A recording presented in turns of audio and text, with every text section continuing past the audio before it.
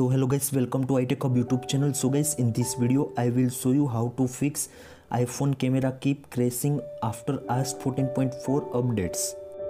Lot of iphone and ipad user reported to camera keep crashing. Also camera black screen and also camera not working on iphone and ipad after iOS 14.4 updates.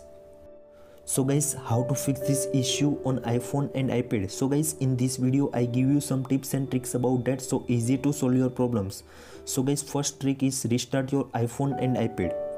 So guys first of all open the settings in iphone and ipad then scroll down and tap on general. In general scroll down and select the shutdown in shutdown you can see also slide to power off after 20 to 30 second wait then again turn on your iphone and ipad and easy to fix your problems.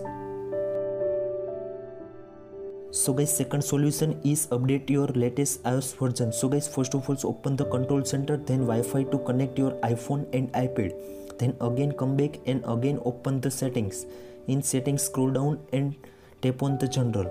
In general you can see also second option software update.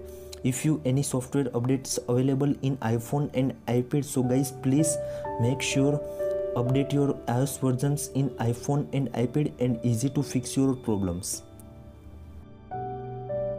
so guys third solution is most important. The solution is make sure all apps up to date in iphone and ipad. So guys please follow the steps and easy to fix your camera problem in iphone and ipad. So guys first of all open the app store. In app store you can see also right corner profile icon. So please tap on that. Then you can see also this type interface in iphone and ipad. After you can see also many updates available in all apps. So guys please update your apps in iphone and ipad and easy to fix your problems in iphone and ipads the fourth solution is reset all settings in iphone and ipad. So guys please follow the steps and easy to fix your problem. So guys first of all open the settings in iphone. Then scroll down and tap on general. In general scroll down and select the reset options. In reset you can see also reset all settings. So please tap on that then enter your passcodes then again and tap on the reset all settings in iphone and ipad and easy to fix your problems the last solution is most important. The solution is restore your iphone. So guys first of all open the settings.